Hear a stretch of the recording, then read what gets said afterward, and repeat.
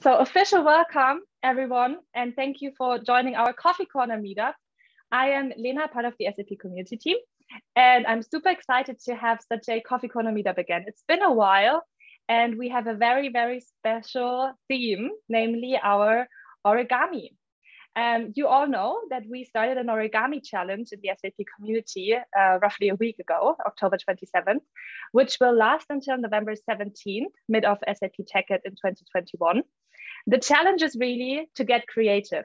We want to see your designs, your models, your um, yeah, your your folded paper work, and we want to give you some support. And we have a super special guest here, and I'm super happy that Paul Jackson joined us. He's a professional paper artist. This sounds so cool, doesn't it? He's not only a paper artist, it sounds cool, Paul, yes. but it's also he's also a paper engineer because he really like he reinvents um, processes and techniques of folding. He's also a writer. He wrote over 40 books in his career already. Not all of them are displayed in the background, but some of them are displayed in the background. Um, and he's a teacher. So he teaches at the Shenkar College of Design and Art in Tel Aviv in different departments. Um, he uh, travels around the world and gives courses for um, his techniques of folding origami, folding paper. And um, he really did great, great stuff in the past, or currently is also doing great stuff. So please check out his website. I'll post it in the chat in a sec.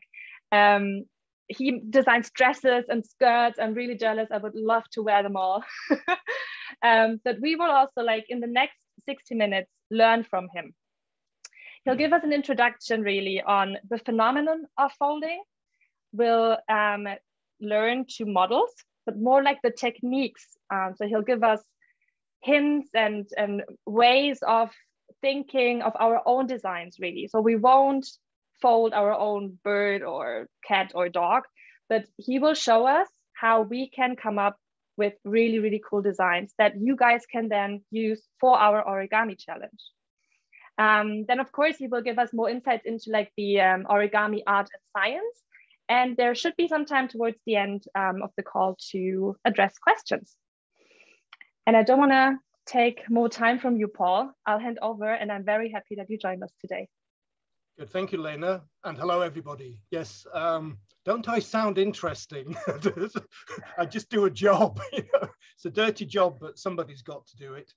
Um, yes, it's been my living for 38 years. I was the first person in Europe, maybe even outside Japan, nobody's quite sure, to make a living with origami. And in that time, of course, I've done many, many things, um, traveled to many places and done all kinds of interesting and not so interesting work.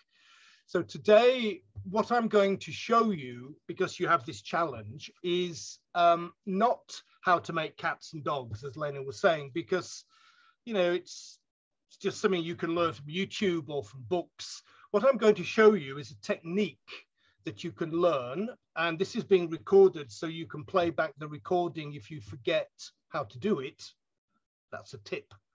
Um, so you learn the technique and then I'll show you ways that you can play with this technique to create all kinds of forms and surfaces that you can photograph and use in interesting ways or turn into little products that you can you know submit as part of the challenge. So if you're expecting to make a dragon because you like dragons then i'm afraid that's for youtube or for books. Um, instead i'm going to teach you a technique. Now i'm going to use yellow um, just because i'm special in fact, I've realized it's flaring with the lights, but never mind. Um, so two A4 sheets are what you need. And you will need some kind of pen or pencil or something you can just make one or two lines with. Um, so, okay, if you, if you just organize the space in front of your camera, like a flat space, if you're sat at a desk, just push your keyboard forwards or left or right. So you have a space where you can work a nice hard flat space where you can put the paper. If you're kind of sitting on a chair, if you can find maybe a hardback book or um, just a hard surface to work on, um, it makes it so much easier and more pleasurable as well. So we'll spend, I don't know, maybe 20 minutes doing this. And then I've got some slides to show you, probably way too many. So I'll gallop um, through those slides. And if you have any energy left at the end, then you can ask me a few questions and I'll try to give um, some answers. Um, okay, so I need to move the camera because I've just got the one camera here. It's on my monitor. So just give me um, 30 seconds. This is my high-tech garden cane, 50 euros. And this is my camera moving. Okay, everybody gets seasick. Um, and then put it here and move the this around. Um, do I need this on? Turn that off. Um, okay, so I've got a light that's over here. It gives me shadows. Um, so without shadows, it's very difficult to fold. If your light is coming from the top, you might have a problem to see the shadows. So you might want to kind of move the light or move yourself a little bit so you can make some shadows. Now, we need to make a square. So what I want to do is this. The usual way, don't do anything, don't, don't do anything, is to make a triangle and then cut it. But we're not doing that. What we're doing instead is putting one A4 lengthwise and the other A4 there up against it like that. Can you see here? And then I'm going to um, just mark there with a pencil here. Can you see that? That's the length of the short side, isn't it? And then I mark with the pencil. Now, if I go too fast, you can replay the video, okay? So that's going to be where my square starts from. Then, and then I find it easier to turn the pencil to the back, turn the pencil to the back, and then pull the paper forwards and, oh, there it is, hello. So there's the line and you can make a fold. A nice, strong fold. Okay, now we're going to do the hardest part, which is to tear. I said tear the paper. So you do that by folding backwards. Make this edge very weak and just keep, go on, be nasty to it. Horrible paper. Turn it this way.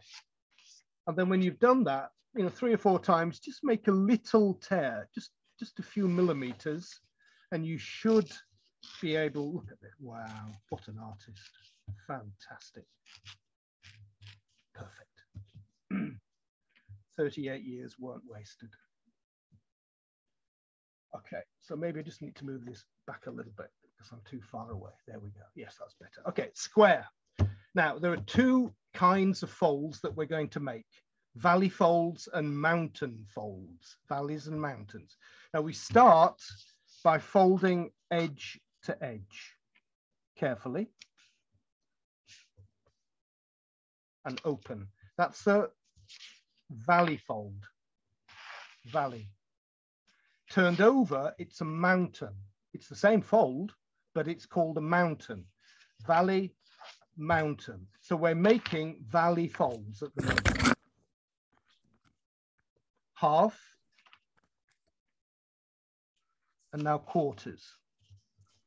So one quarter here, turn the paper round. I always fold away from myself because I just find it easier. I can see what I'm doing. So I can see my shadows, I can see the edges. So, uh, so I'm always, always turning my paper half and quarter. What lovely shadows we have. Half and quarter. And then we're going to divide again into eight. How do we do that? So we're going to divide into eight and we do that by folding the edge to the top fold. The edge to the top fold edge to the top fold. That's the quarter, isn't it? And make a fold and open. So this is the new fold here in the middle of the three. This is my new fold. And then I spin the paper round, so turn the paper round, and I do the same thing again. The edge near me goes to the top fold. Near me goes to the top fold. And we open out. So we have these five folds in the middle of the paper. And you can probably guess what we're going to do to finish the eighths. We need a fold here near the edge, don't we? Something near the bottom and also something near the top. So near the bottom, we fold the edge now to the nearest fold. First we folded to the furthest fold and now we're folding to the nearest. So that one and open, spin the paper round and to this bottom fold. So that's a nice, easy way to divide into eight. And they're all valleys. Actually, it's not eight valleys, it's seven valleys if you look. Seven valleys dividing the paper into eight. Now, this is the part somebody always forgets. Somebody always forgets, and then they're really sorry. They're really, really, really sorry. These are all valley folds. So the one time in all the folding we do, you turn over. They're now mountains. Mountains. Oh, isn't that pretty? Look at that. Mountains. M, mountains. M, mountains. Mountains. So you started making valley folds, and then one time only, we turned the paper over to make mountains. Please don't forget to do that or you'll be very sorry. So what we're going to do now is to make a big triangle, corner to corner. And this is a valley fold that goes across all the mountains, yes? So we're now going to make more valleys, lots of X's and they're crossing the old mountains that we made before. So this is big triangle open, turn the paper, and we can fold the other big triangle that goes across the first one. So corner to corner, and that's a big, big X, isn't it? Big X. Biggest you can make.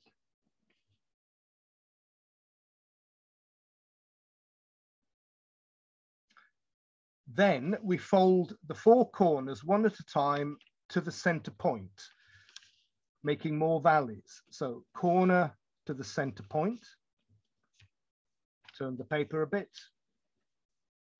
Next one.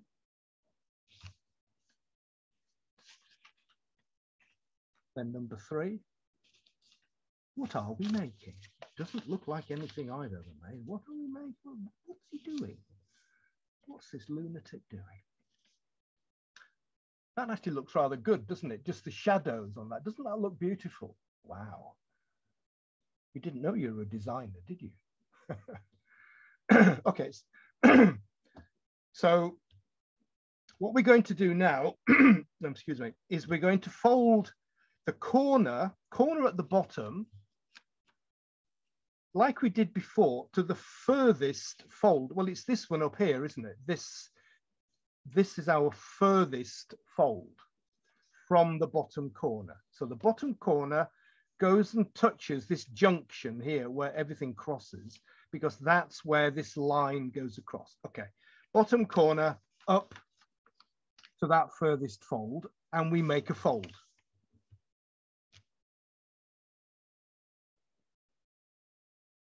And guess what we're going to do? Guess what? Yeah, yeah, you've got it. We're going to do the same with all the corners. So do one, open it, turn to the next corner, look at where look at where your line is that's crossing. Fold the bottom corner to that same line. Lots of symmetry here, isn't there? And you know, doing the same thing many times. Not many steps, we just do the same thing many times. And then a third one, so you see this grid that's building up. And then to the top goes across. But the nice thing about paper is that if you make a mistake, you don't get all upset and cry and go and tell your mummy. What you do is you just start again. You know, just a piece of paper, it's not expensive, doesn't take you long, just start again. So Uh, oh, wow. Frame it. Quick screen grab. There we go. Quite nice, isn't it? All right, now we need to um, finish the grid by folding a corner to the nearest line. So first we folded to the furthest line. Now we're folding to the nearest line just to make this little triangle in the corner. You see that triangle? Just a little triangle. And then we turn, fold again to the nearest line that goes across. So that's our little baby valley. Four times. and we finished. Huh? Not interested. What's that? What's this? What's he made?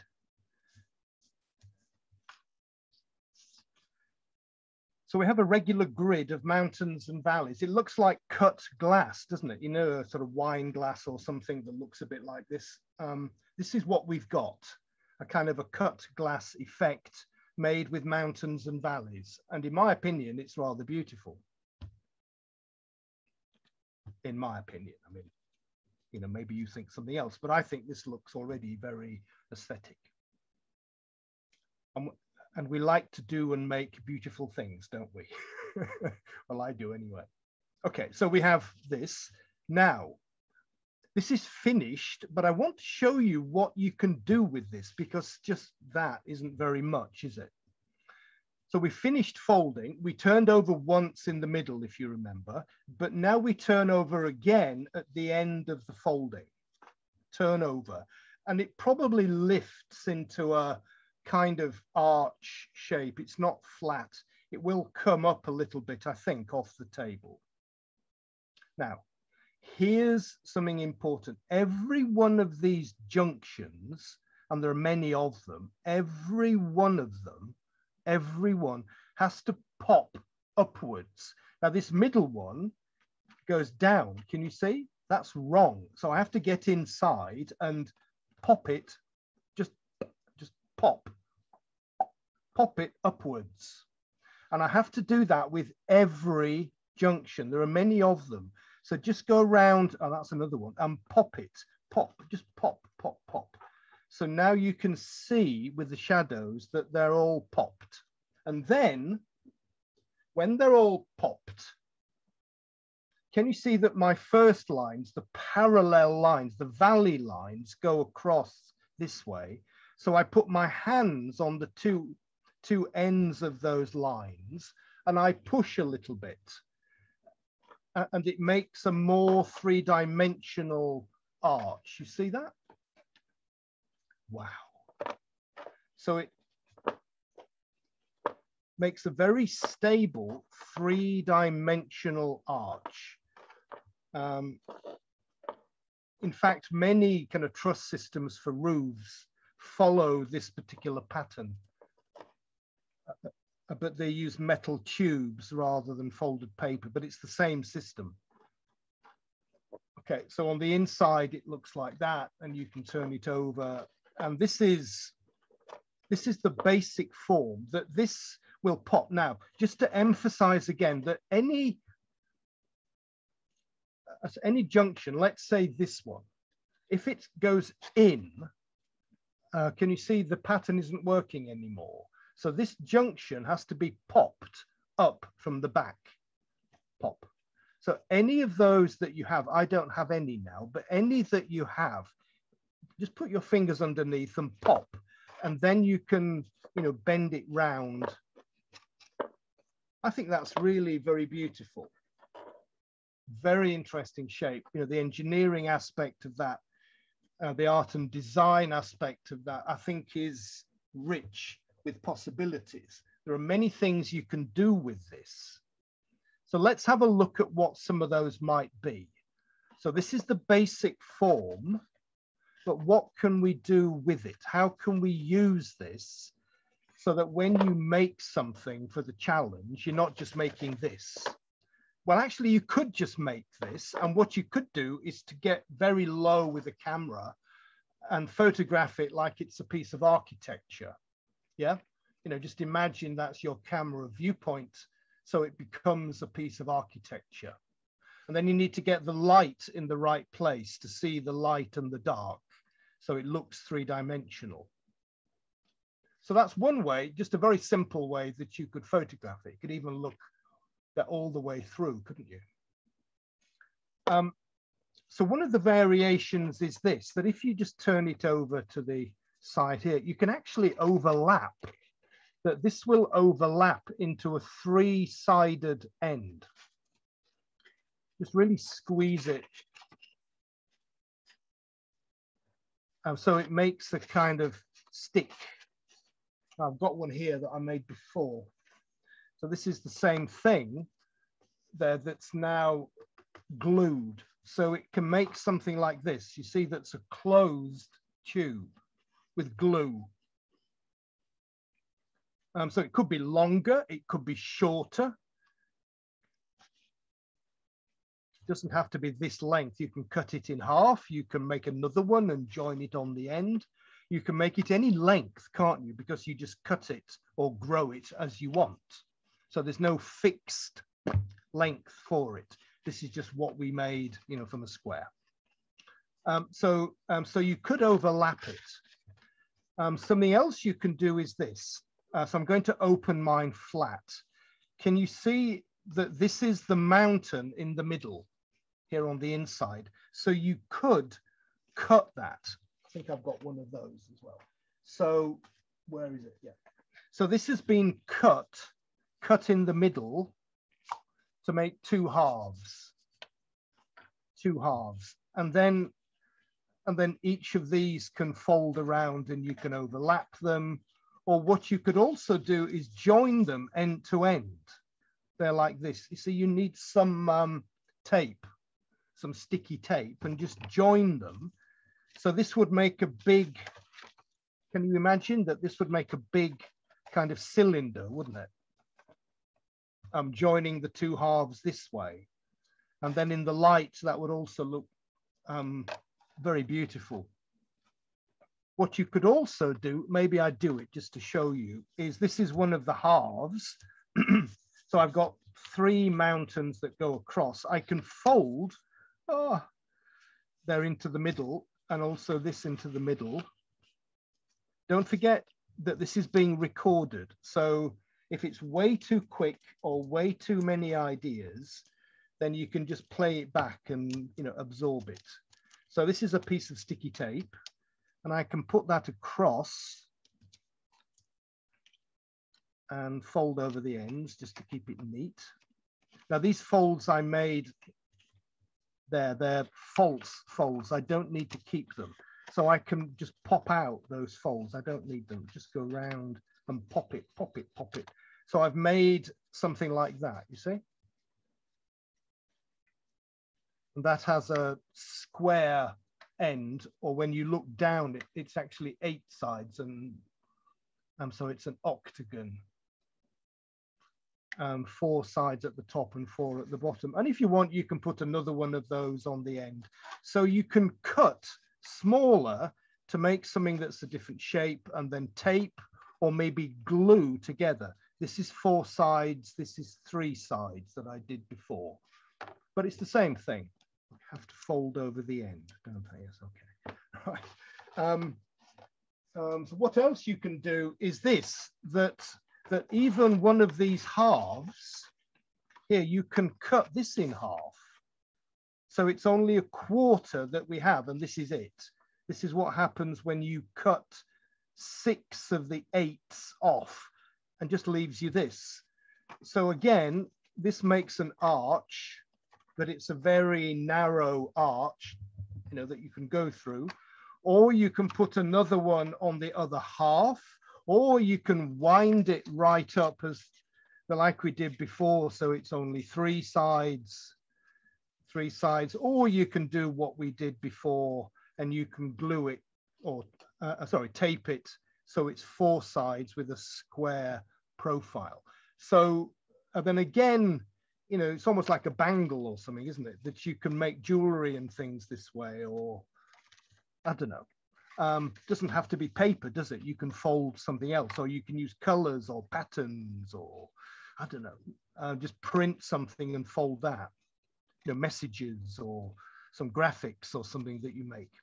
Um, so that's that's one way that we can cut it by by starting with this is the uh, that's the main sheet and then um, folding in half. The fold is already there and then cutting on that fold or cutting a quarter or cutting, well, maybe not one eighth, maybe that's not, not so interesting.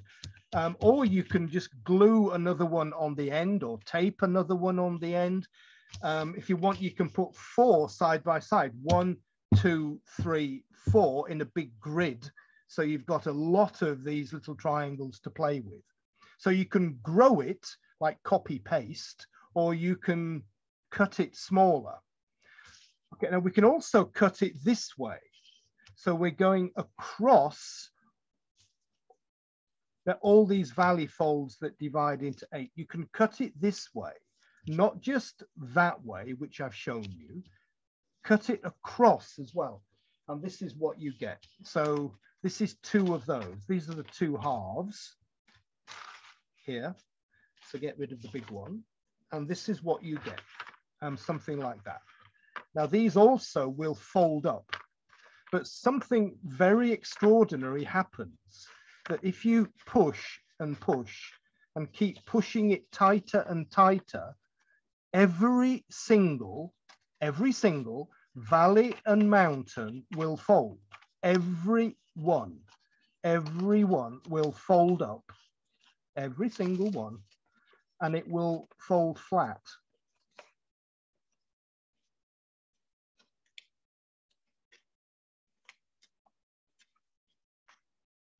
Takes a few seconds, okay, but it's gone flat. Wow, look at that. See, it's tiny, isn't it? Look at that. Isn't that amazing?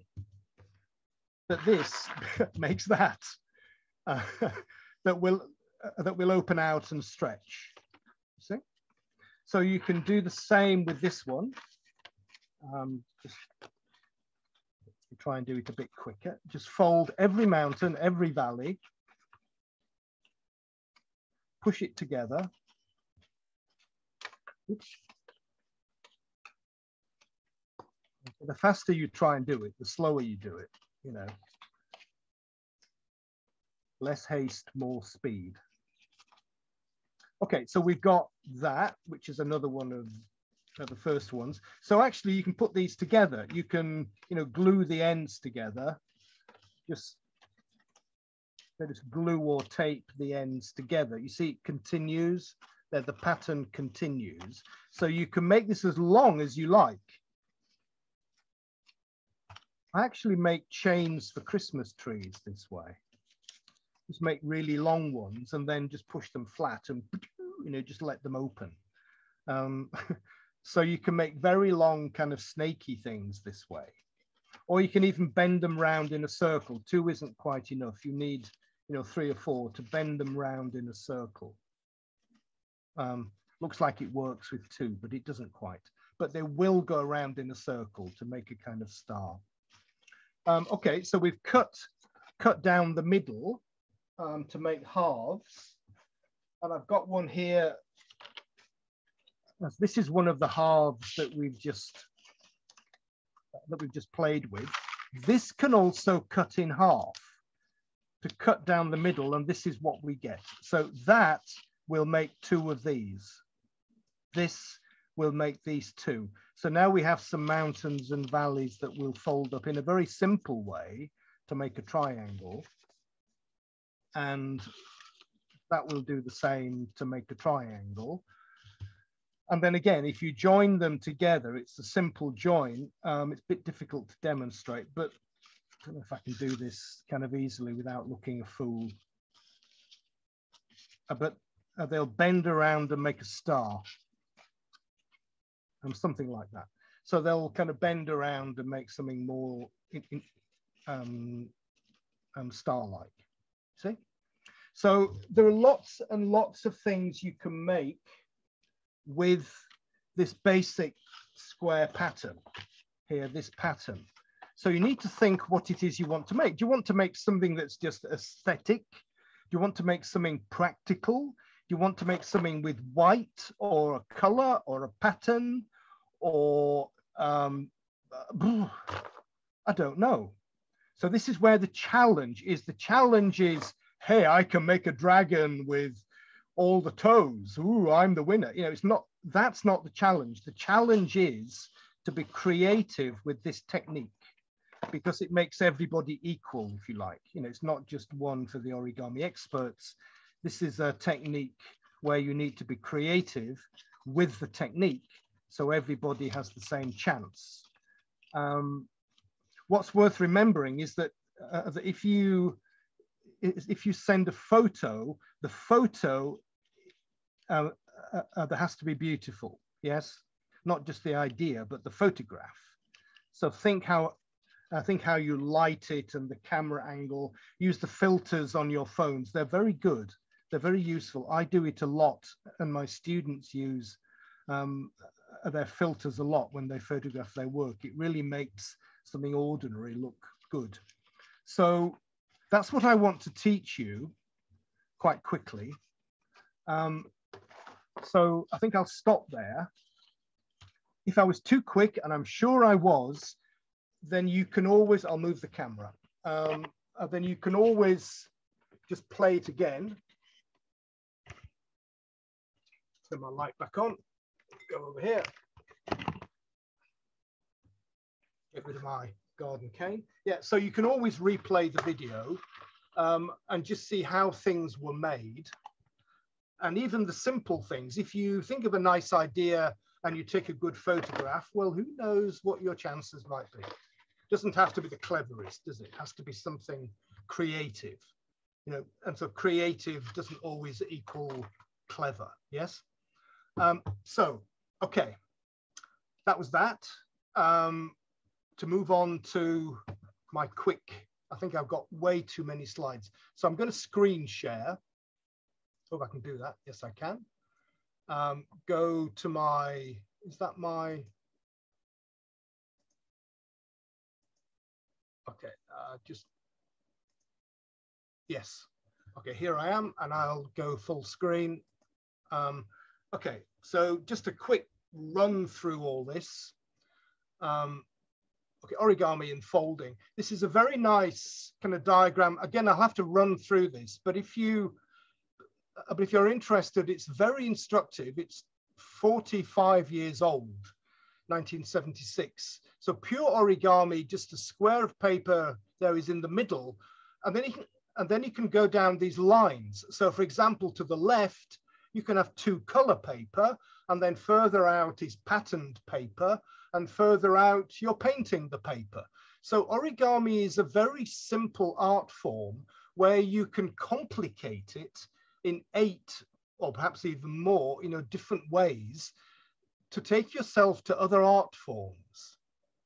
Um, so it's kind of the hub of many creative activities.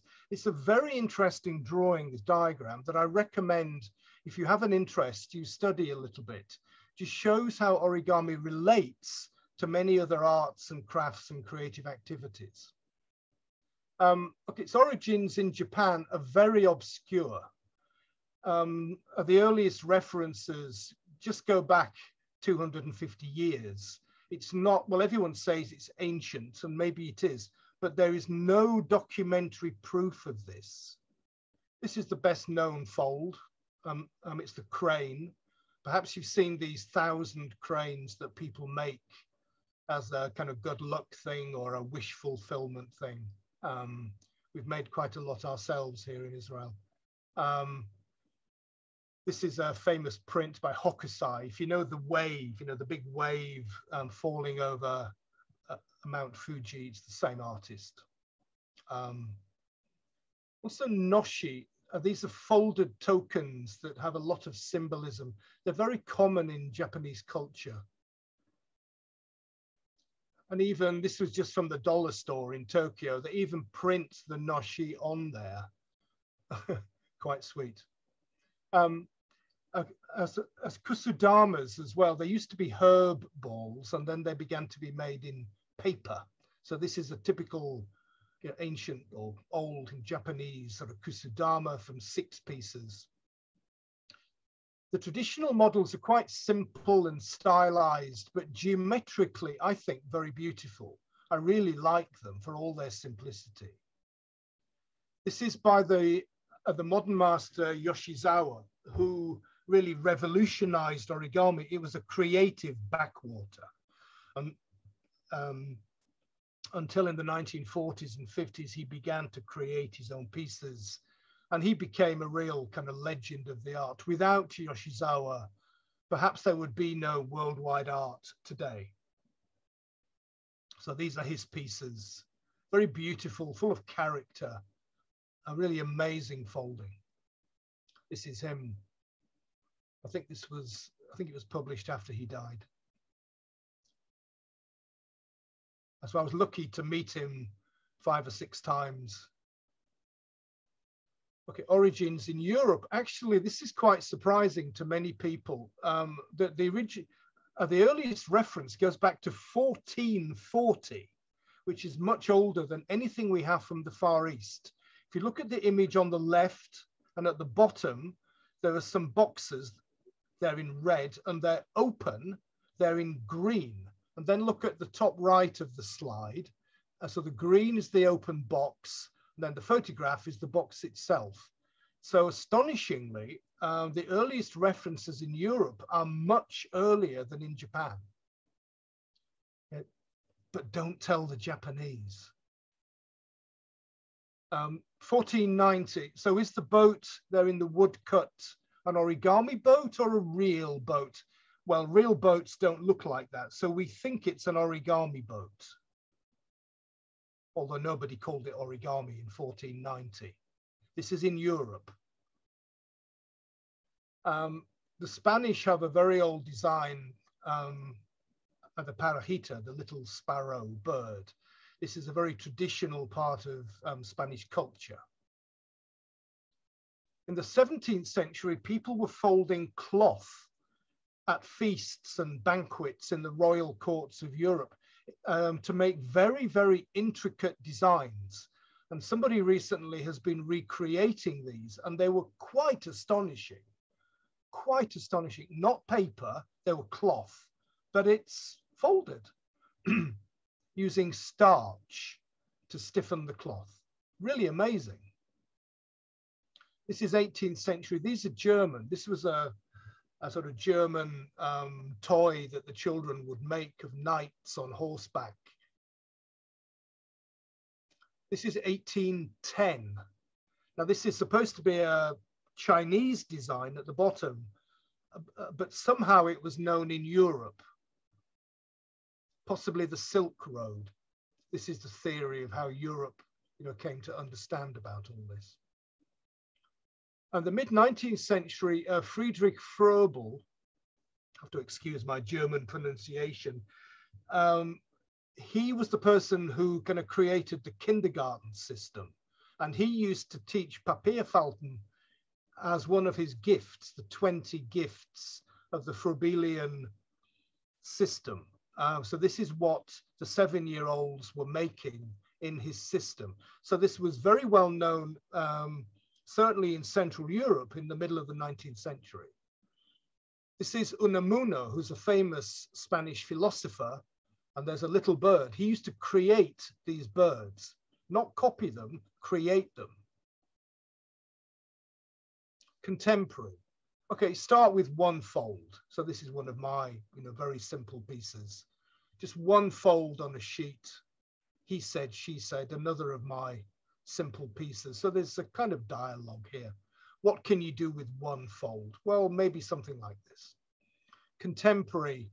Yeah, I, um, I mean, you can make astonishing things. Uh, so this is um, just one sheet of paper, no cutting, no cutting, no gluing, um, just you know, pure folding. And these days, it really is extraordinary what you can make. Doesn't mean they're better than the simple things. It's just a different style, isn't it? Just because you paint a picture with every you know piece of grass you know painted in, doesn't mean it's a better picture than a picture where the grass is just a wash of green.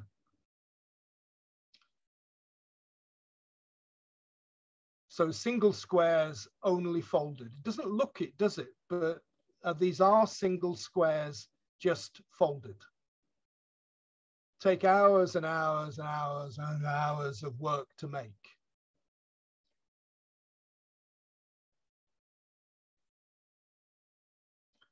Um, but it's possible also to scan any three-dimensional object um, and then to create a crease pattern, a folding pattern of the surface of that three-dimensional object to any resolution. So this is a bunny that was scanned in three dimensions and then the crease pattern is on the right. So that nightmare that's on the right will actually fold up and make the rabbit. So theoretically, you can make anything by folding. Now, whether it looks beautiful, whether anybody wants to make it is another you know, discussion, isn't it? But you can do this modular. So many pieces put together, many pieces. This is quite popular because you spend a few hours making units and then you glue them together in various ways. This is a thousand separate units. Um, yeah, that's one of mine. I got fed up making things that were perfect. So I made a modular cube with no strength. So it just collapsed. that's me, you know. Oh, the artist being an artist. Oh dear.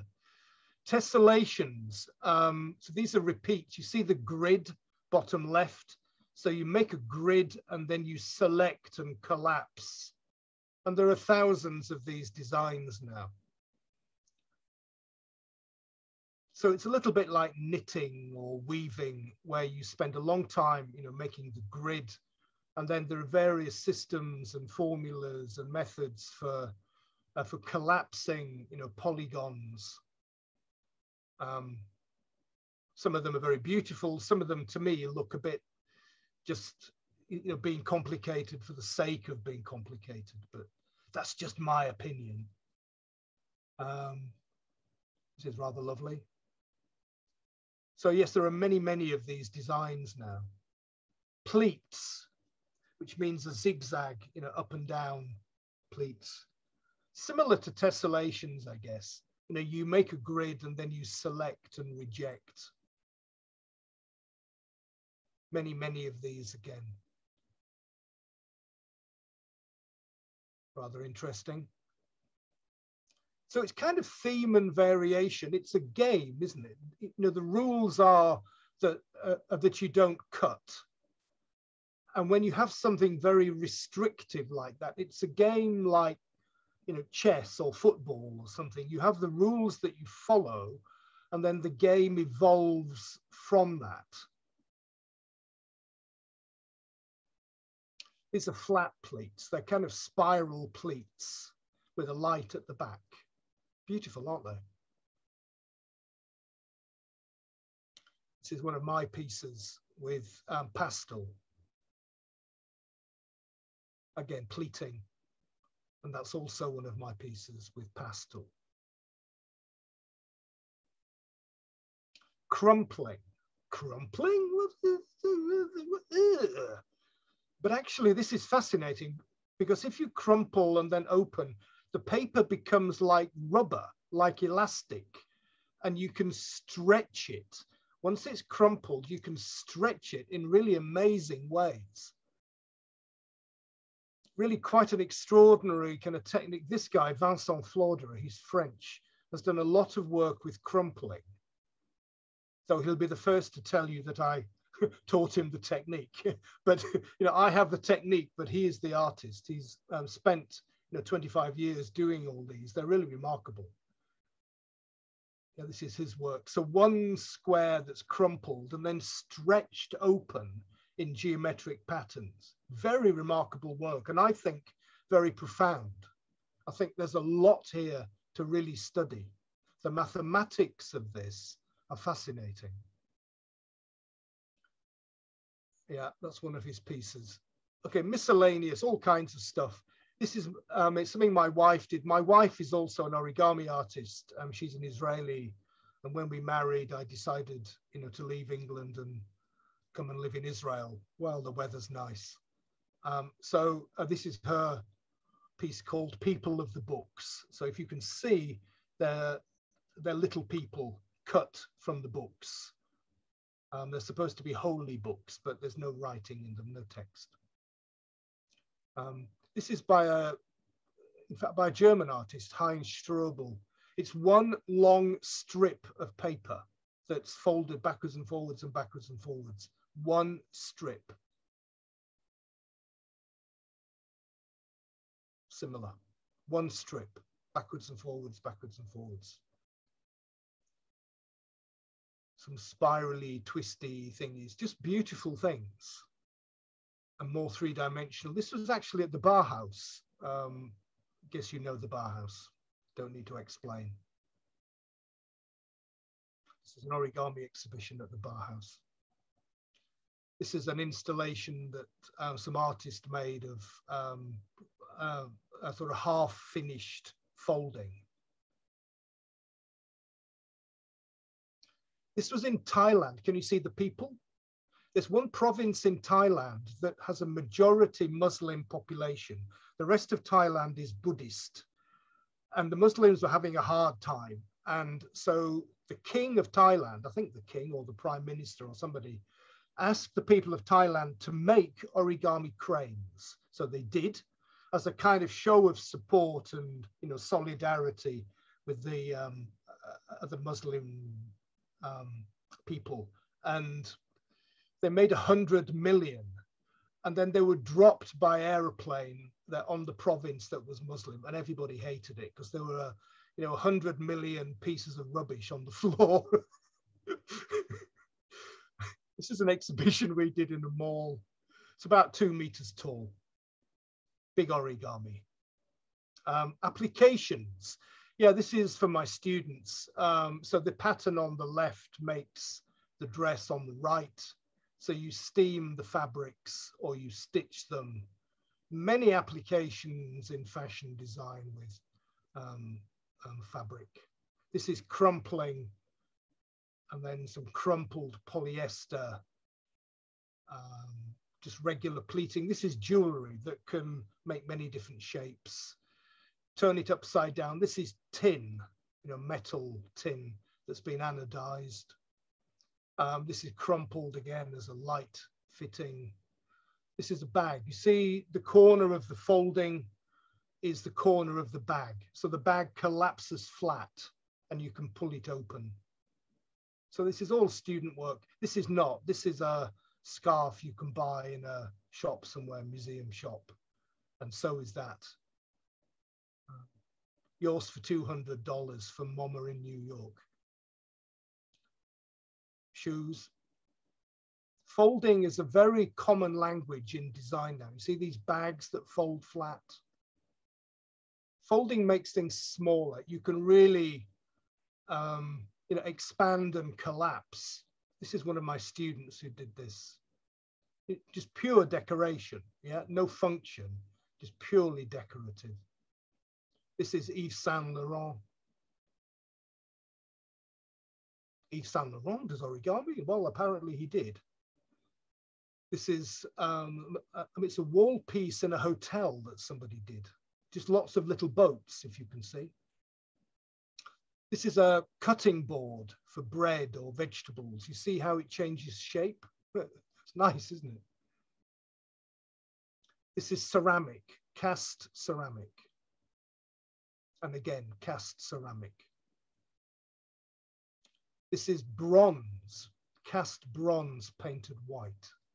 Beautiful. Piece of origami cast in bronze. This is a chair that's been folded. Can you see how it would unfold? Again, ceramic, made in a mold. This is one of my students who made this uh, neckerchief. is again one of my students. Uh, this is knitting on a knitting machine. left, right, left, right. Um, this is a dance performance with a piece of folded cloth that kept changing shape as the dancers moved. One of my students did this. You see, just very simple folding, but beautifully done, beautifully, beautifully done. It's not clever, it's just wonderful design. Technically simple, but beautifully done. Folded paper, just a lovely piece. Is a light fitting. There are many, many, you know, folded and pleated lights. You've probably seen some. This was an installation in a shop. This is in central London. It's um, steel. It's near St. Paul's Cathedral, Paternoster Square. It's my favorite piece of public sculpture. It looks amazing in any light. It's beautiful. Table changes shape lamps change shape. Science and math. This is a stent. This is a tiny, tiny thing that goes into a blood vessel and travels along. You guide it with a magnet and then you do something, I don't know what. And this small thing at the bottom opens to the big tube. So it opens an artery so blood can go through. These are now used quite a lot. It's an origami idea. It's pure origami saved many, many lives. This is a little robot. Um, many university engineering departments are now making these folding robots that kind of move themselves. This one apparently swims. This is um, something NASA, I think, is doing with um, the Lawrence Livermore National Laboratory. It's a big telescope that folds very small. In fact, I've done some work for space space companies before, but I can't tell you what. Um, making things that are small and then you know, open. They deploy once they're in orbit. And this is a big telescope that was designed by this guy, Robert Lang. Math. Um, yeah, this is a bit hard to read, but this guy, Tom Hull, is a real advocate of um, you know, origami and math, um, saying it connects to many, many subjects. It's not just recreational maths. And if you know about Euclid and the geometry of Euclid that we use and, uh, and it's taught in schools, well, actually origami or folding is more powerful than Euclidean geometry.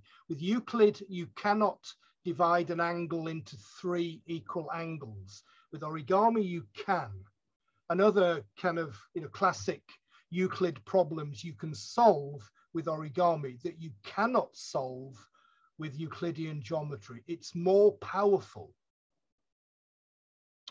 Um, and finally, this is our program. We run a program here in Israel, my wife and I, where we teach origami in the math class called Origametria, in the geometry class. In, um, so we have every week 150,000 children study this. Um, and it runs with animations on um, online. So there are 200 lessons. The children learn their geometry by folding origami. It's incredibly successful, really, really successful, not because of who we are, we think, but because it's just origami. The kids adore origami and they learn geometry by the back door very successful program um, that's growing fast, especially through lockdown because it's online. Um, and finally, I think, yeah, this is a nice quote from Michael Shall, whose name I've just spelt wrong, um, because you can do it anywhere, anytime, and anybody can do it. It's not something you need to be a master of to enjoy or have a big, big studio, lots of equipment, lots of money. You just need a piece of paper. So um, that's the end. And oh, oh dear, I shouldn't show you that. Um, so, um, okay, I'll stop sharing. And here I am again. Um, so Lena or somebody, does anybody have any questions in the last five or 10 minutes? Yes, we had one question actually uh, from Tammy. She needed to leave earlier, but um, she was wondering whether um, there's any specific type of paper that you recommend for origami no, really, any paper that can hold a crease. When you, you know, fold the paper, any paper that will hold a crease. So a paper towel or Kleenex is maybe not very good, but even very heavy paper, you can wet it and then it will fold. And when it dries, it dries rigid you know, into the folded shape. So even heavy watercolor paper, aquarelle paper, you can fold with water. But yeah, um, you know, just cheap paper. You don't need to get some special paper from Tibet, you know, to do origami with. Any paper is good, basic paper, but not, you know, paper towels and soft, you know, tissue paper is no good. Okay, brilliant. There was one comment in the chat earlier that um, Menina's uh, origami uh, didn't look as yours, and mine actually doesn't look as yours. Yours looked so rigid. So um show me what you did there. Oh no. Let me see it in the light. Yeah. Uh you didn't turn over, that's why. I did turn over once. Did you? Because everything looks like a valley. From here, everything looks to be a valley. From now, everything looks to be a mountain. So all your uh, parallels need to be valleys, but the X's need to be mountains, the opposite fold, and then everything will go into shape. Probably can't. Yeah, yours looks brilliant. Yours looks amazing. Because I made mountains and valleys. Um, you know, the concept yeah, that gives you the shape. There's all.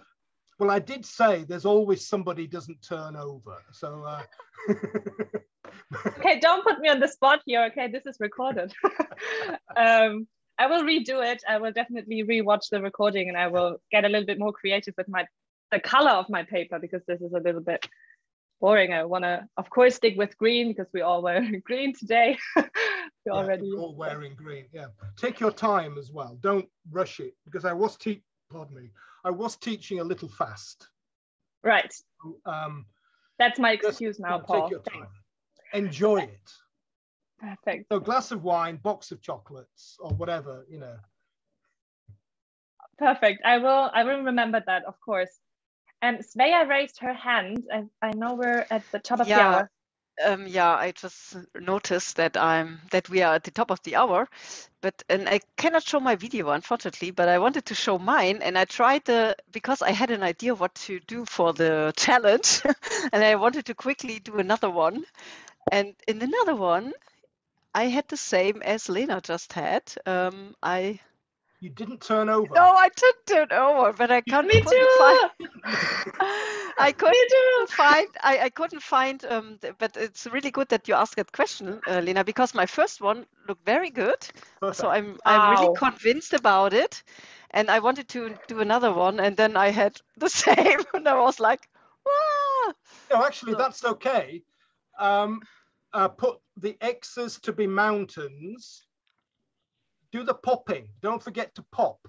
You have to pop all those junctions. Yeah, but I I think I have tried to fold now both both sides. Again. We're short of time, so please yeah. play the video. Again. I I will definitely do this, but I wanted to share. Thanks, Lena, uh, for for showing this, and um, yeah, everyone turn around the paper, and thanks very much, Paul. It was really really interesting. Thank you. Thank you. fun. I enjoyed it. Thank you. Us too, Paul. Thank you so much.